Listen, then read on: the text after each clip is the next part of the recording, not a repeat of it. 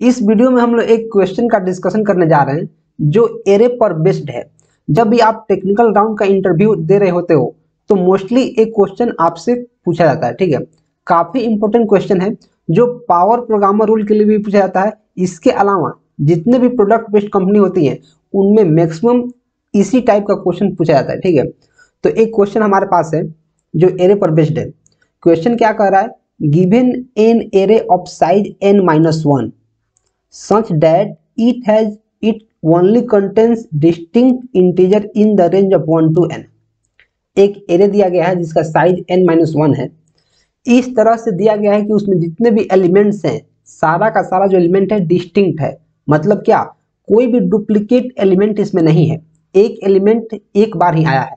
Means हर एक element unique है। ठीक है? जो एक से लेकर एन रेंज में है। तो पूछ रहा है फाइंड द मिसिंग एलिमेंट तो इसमें जो एलिमेंट नहीं है, जो एलिमेंट मिसिंग है, उसको फाइंड आउट करना है। अभी मैं इसको एग्ज़ाम्पल के थ्रू समझाता हूँ, तब आपको और भी चीज़ें हमेशा के लिए समझ में आ जाएँगी। एग्ज़ाम्पल एक दिया गया है, जैसे इनपुट एन फाइव है एन फाइव है, और एरे दिया है one two three four one two three four तो इसमें कौन ऐसा नंबर है जो नहीं है? तो आप कहोगे सर वन टू फाइव में one two three four five इसमें वन दिया है टू दिया है थ्री दिया है फाइव दिया है फोर नहीं दिया है।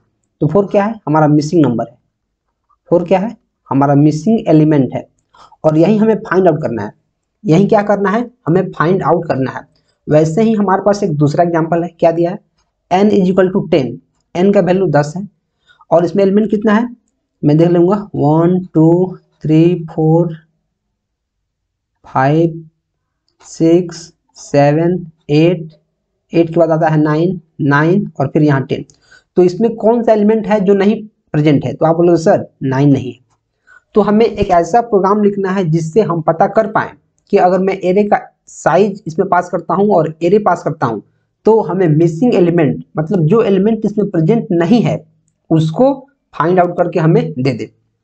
ठीक है? मैं आशा करता हूँ आपको क्वेश्चन समझ में आ गया होगा, लेकिन मैं फिर भी एक बार और क्वेश्चन आपको समझाता हूँ।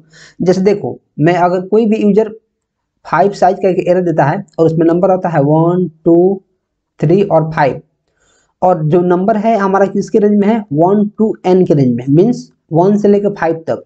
एन कितना है? फाइव तो one two three four five लेकिन नंबर दिया है वन टू थ्री और फाइव तो कौन सा नंबर है जो यहाँ मिसिंग है? कौन सा नंबर है जो यहाँ प्रेजेंट नहीं है? तो आप बोलोगे, सर, जो नंबर फोर है, वो यहाँ प्रेजेंट नहीं है। ठीक है? तो क्वेश्चन आपको समझ में आ गया होगा। मैं अभी आपको इसका एल्गोरिथम लिख कर दिखाता हूँ और फिर मैं प्रोग्राम इसका प्रैक्टिकली लिख कर और आपको रन करके दिखाऊँगा, ठीक है? तो मैं वीडियो में आगे बढ़ूँगा और आपको एक चीज़ बताऊँगा। तो देखो, जैसे यहाँ एन इक्वल टू दिया है हमारा फाइव और इनपुट केस में क्या दिया है? वन टू थ्री और फाइव हमें फाइंड आउट क्या करना है? मिसिंग नंबर तो मिसिंग नंबर कौन है? फोर है। तो इसके लिए हमें क्या करना पड़ेगा? अगर आपको क्वेश्चन समझ में आ गया है तो मैं आपको रिकमेंड करता हूँ कि प्लीज़ वीडियो को पॉज कर दो, अपने से लिखो। अगर अपने से नहीं होता है, फिर वीडियो को देखना। और आपका सॉल्यूशन अगर मेरे सॉल्यूशन से डिफरेंट होता है तो आपको कमेंट करना है कि आप किस अप्रोच के हेल्प से बनाएँ, ठीक है? तो मैं क्या करूँगा? मैं देखूँगा कि इसमें वन टू थ्री फाइव चार नंबर है। और हमारे पास नंबर जो दिया है फाइव दिया है। और जो फोर हमारा नंबर है, वही मिसिंग है फोर इसमें नहीं है। तो मैं देखूँगा जो फाइव नंबर है, मैं मान ले रहा हूँ जो नंबर पहले से फाइव है, और सारा का सारा नंबर जो है डिस्टिंक्ट है और वन टू एन के बीच है। तो मान लूँगा क्या है? One two three four five मैं मान लेता हूँ वन टू एन का सम कितना होगा? तो आप बोलोगे, सर, मैं सबको जोड़ूँगा तो कितना होगा? फिफ्टीन होगा। पाँच नौ, तीन, बारह चौदह, पंद्रह, सबको मैं जोड़ लूँगा फिफ्टीन होगा। और जो नंबर यहाँ दिया है, जो नंबर दिया है, चार नंबर दिया है, इसका सम कितना है? तो आप बोलो sir one plus two plus three plus five कितना हो जाएगा? पाँच तीन आठ दस एक ग्यारह। ये हो गया हमारा ग्यारह। अगर मैं टोटल सम जितना नंबर दिया है, सारा का सम कितना है? फिफ्टीन और जो नंबर यहाँ दिया है, इसमें सारा का सम कितना हो गया? इलेवन अगर मैं टोटल सम में से इसका सम में माइनस कर देता हूँ तो हमारा कितना आता है? फोर आता है। ये अप्रोच हमारा काम कर गया। मैं क्या करूँगा? जो भी नंबर ऑफ़ एरेज हमारे पास दिया है, मैं उसको वन टू एन का फॉर्मूला लगाकर उस नंबर का मैं सम निकाल लूँगा, वहाँ से लेकर, वहाँ तक, शुरू से लेकर उस नंबर तक, और उसका सम निकालने के बाद जो नंबर हमारे एरे में दिया है, उसका मैं सम निकालूँगा और उसको माइनस कर दूँगा। तो हमारा जो नंबर बाकी रह गया है, वो हमारा नंबर आ जाएगा। मैं आशा करता हूँ आपको समझ में आ गया होगा। अभी मैं चलूँगा अपने Dev C plus plus compiler में और वहाँ आपको कोड करके दिखाऊँगा कि चीज़ें कैसे काम कर रही है। ठीक है? तो मैं चलता हूँ Dev C plus plus compiler में और आपको कोड करके दिखाता हूँ। तो देखो, सबसे पहले मैं क्या लिखूँगा? इसका जो हेडर फ़ाइल होता है, ये लिखना काफ़ी ज़रूरी होता है। तो आपको ये तो लिखना ही है। और मैं तो कहूँगा, यार, आप मेरे साथ कोडिंग करो। क्योंकि मेरे साथ कोडिंग करोगे तो आपको बहुत सारी चीज़ें हमेशा के लिए यहीं पर क्रिस्टल क्लियर होती रहेंगी और आपको मज़ा तो एडिशनल आता ही रहेगा। तो मैं तो यही कहूँगा, यार, मेरे साथ करो और जो मैं लिख रहा हूँ, उसको लिखते रहो। और अगर आप अपने से बना लेते हो तो आपको कमेंट करना है। मैं आपका अप्रोच देखना चाहता हूँ कि आप किस तरीका से सोचे हैं और आपका अप्रोच कैसा है, ठीक है? तो मैं यहाँ लिखूँगा इंट मेन और इसी के साथ मैं क्या लिखूँगा? यहाँ रिटर्न ज़ीरो मैं यहीं लिख दूँगा, क्योंकि यार इंट मेन में लिखा हूँ तो रिटर्न ज़ीरो लिखना काफ़ी ज़रूरी है मेरे लिए। लिखूँगा, अब मैं क्या करूँगा? एक एरे लूँगा। तो मैं इसको इंटर मारूँगा इधर।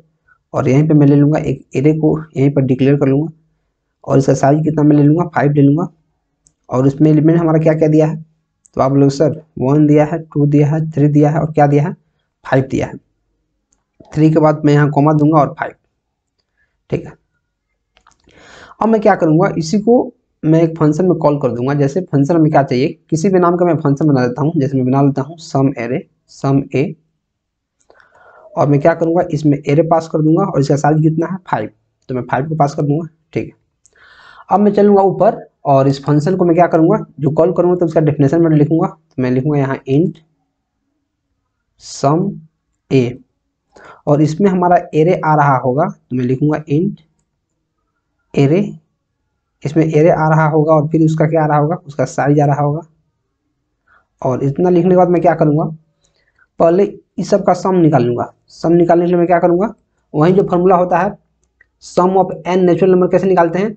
N into n into n plus one divided by two ये हमारा क्या है? फार्मूला ये हमारा क्या है? फार्मूला है इससे क्या होगा कि जो हमारा नंबर ऑफ़ एलिमेंट्स आ रहा है नंबर ऑफ़ इसका साइज़ कितना है? फाइव है। तो पहले फाइव का क्या निकालेगा? सम निकालेगा उसके बाद यहाँ नंबर ऑफ़ एलिमेंट्स फोर है। इसका हम सम निकाल लेंगे और फाइव के सम में से ये जो फोर का सम है, इसको हम माइनस कर देंगे। तो क्या हो जाएगा? हमारा आउटपुट चलाएगा तो मैं क्या करूँगा? एक फोर लूप लगाऊँगा पहले। मैं क्या करूँगा? यहाँ फोर लूप और यहाँ लिखूँगा int i equal to zero i less than n i plus plus ठीक है? I equal to zero i less than n और आई प्लस प्लस इतना मैं कर दिया। और इसमें मैं क्या करूँगा?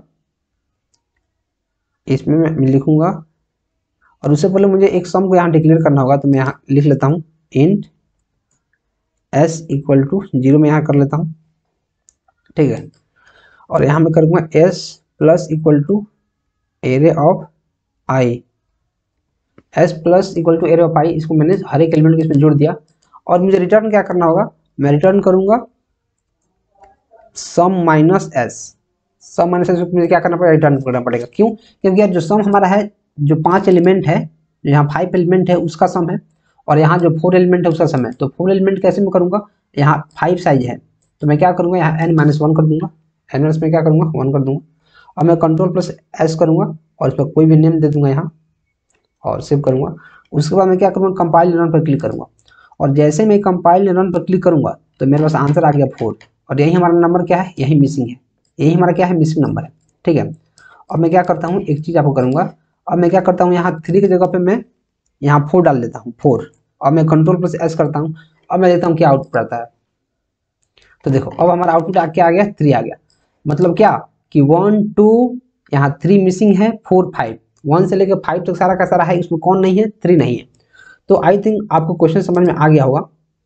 अगर इसके रिगार्डिंग कोई भी डाउट हो तो आप कमेंट कर सकते हैं। और वीडियो आपको सच में अगर समझ में आया हो और पसंद आया हो तो प्लीज़ चैनल को सब्सक्राइब कर लो। वीडियो को लाइक करना भी बहुत ज़रूरी है तो प्लीज़ लाइक कर दो।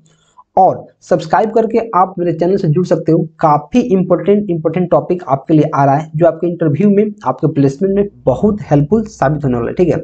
तो चैनल को सब्सक्राइब कर लो और और भी प्लेलिस्ट में बहुत सारा वीडियो पड़ा है, आप जाओ, जाकर देखो। और कोई भी सुझाव है तो आप कमेंट कर सकते हो। हम लोग मिलते हैं अगले वीडियो में कुछ नए कॉन्सेप्ट के साथ। Till then keep supporting and keep exploring